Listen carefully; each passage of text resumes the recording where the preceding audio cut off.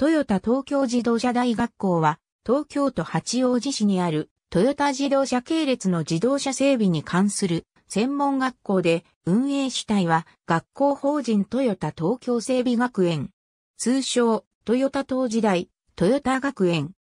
東京オートサロン2019で制作された車両1954年日本自動車学校整備課として立川市に設立し1971年に八王子市へ移転。1983年より男女共学となり、2004年に現在の公明解消。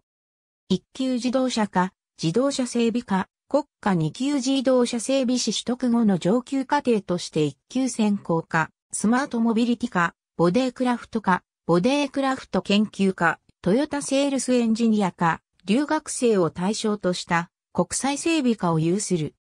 卒業者には、トヨタサービス技術検定3級の取得資格、国家1級と2級自動車整備士の受験資格実技試験免除が得られる。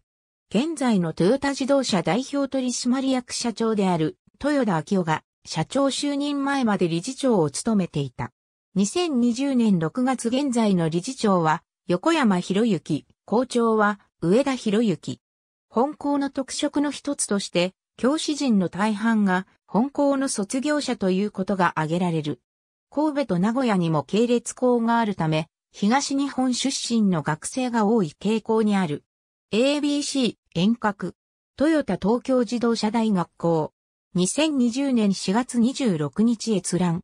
学校案内。トヨタ東京自動車大学校。2020年4月26日閲覧。東京オートサロン2019学生が制作したカスタムカー全店。全急行の出展車両フォトギャラリー。画像、トヨタ自動車。2020年4月26日閲覧。